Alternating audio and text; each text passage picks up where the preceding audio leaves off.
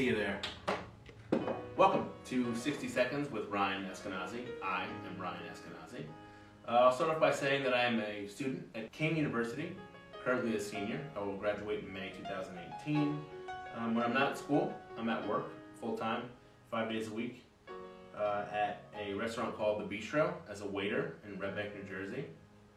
Uh, it's American cuisine. They serve anywhere from pizza, pasta, burgers. or burger made top 20 in New Jersey in the summer. They also serve sushi, pretty much anything else you can think of. I like to dabble in martial arts. I do karate and Brazilian jiu-jitsu. I think that's pretty much it. I guess you can show yourself out.